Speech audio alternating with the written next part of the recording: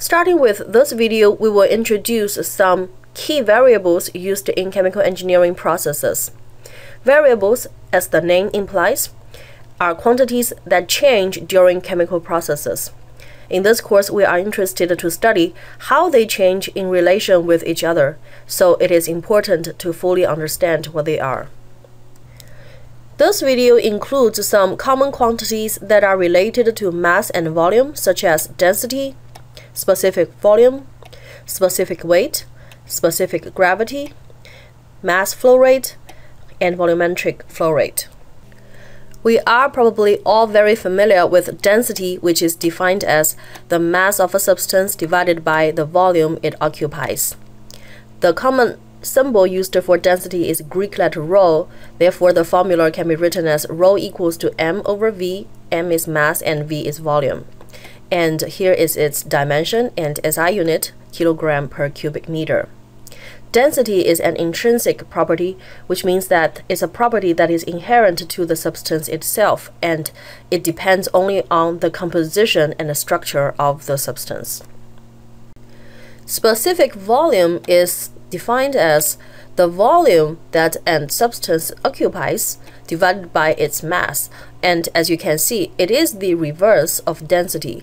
Therefore, specific volume is simply the reciprocal of density and it equals to V the volume over M the mass. And this reciprocal relationship is reflected by its dimension and SI unit as well. Specific weight, which should not be confused with the specific volume that we just introduced, is actually defined in a similar way as density, but it is the weight of the substance divided by the volume it occupies. Therefore, the formula is gamma, the Greek letter symbol for specific weight, equals to W, the weight, over V, the volume, but also it is related to density through G, the gravitational acceleration constant, and its SI unit is Newton per cubic meter. We mentioned that density is an intrinsic property. Gamma, however, is no longer intrinsic. It's an extrinsic property. This is because it depends on g, the gravitational acceleration constant, which depends on different factors such as location or even the weather. Specific gravity can be very easily confused with specific weight or even specific volume. But specific gravity is actually a relative density. This is because it is defined as the density of a substance divided by the density of a reference substance. Sg equals to rho over rho reference. So as you can see, it is actually a ratio. Therefore, it is dimensionless, or we say that its dimension is pure number 1, and it is unitless as well. For specific gravity, the most commonly used reference substance is water at 4 degrees C.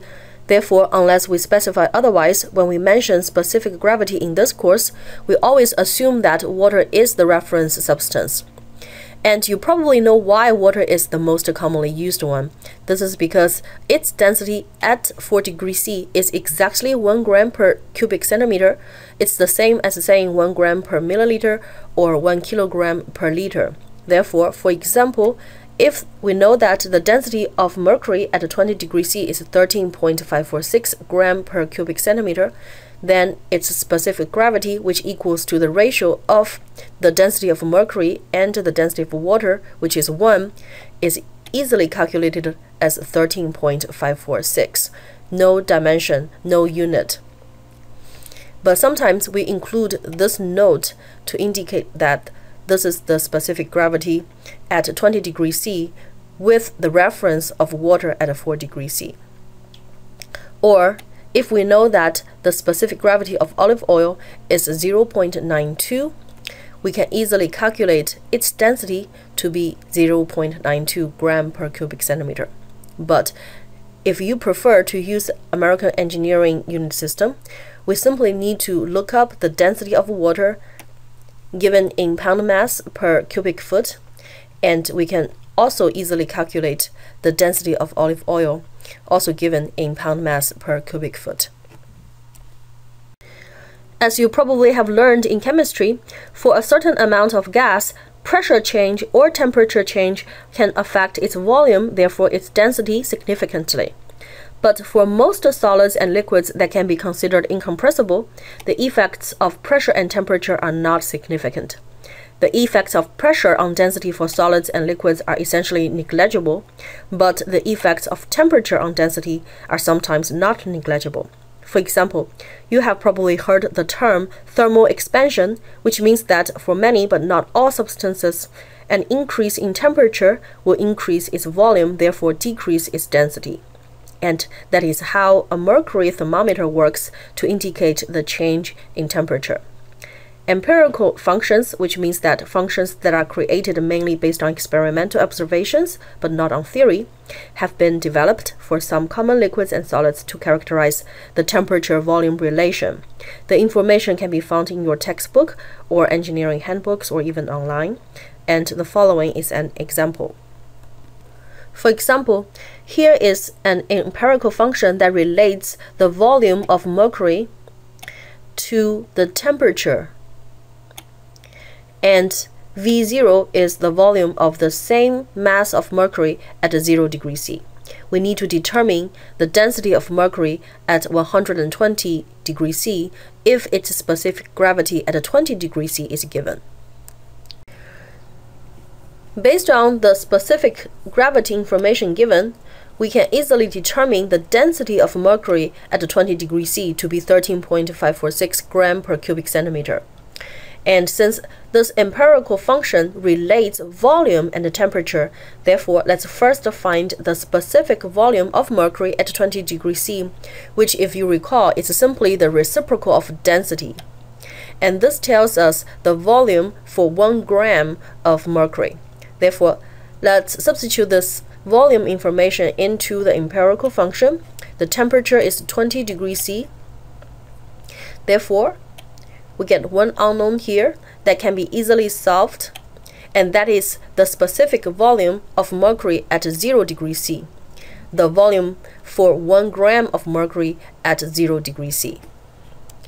Therefore, at 120 degrees C, we can again use this empirical relationship, substitute in the specific volume for mercury at 0 degrees C, the temperature is 120, and we can solve for the specific volume for mercury at 120 degrees C. And from here, the density is simply the reciprocal of the specific volume to be 13.303 gram per cubic centimeter.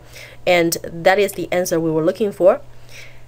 And as you can see, compared to the density of mercury at 20 degrees C, this density is lower, which indicates that the volume of the mercury has expanded at a higher temperature, and that is the thermal expansion that mercury experiences. For a stream of a flowing fluid, either gas or liquid, that could be flowing inside a pipe, a process line, or in the open, we can determine its mass flow rate or volumetric flow rate we draw an imaginary surface perpendicular to the stream and measure for a certain time period delta t what is the total mass delta m of the fluid flowing through this imaginary surface, as well as the total volume delta v flowing through this imaginary surface.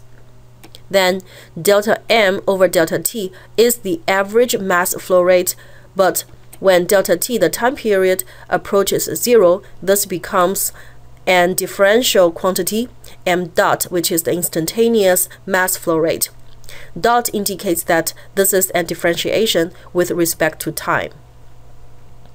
Similarly, delta V over delta T is the average volumetric flow rate, but when delta T approaches zero, this becomes the instantaneous volumetric flow rate, which is again a differential quantity, and sometimes this is represented by symbol Q.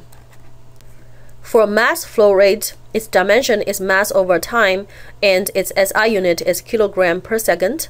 For volumetric flow rate, the dimension is volume over time or cubic length over time, and its SI unit is cubic meter per second.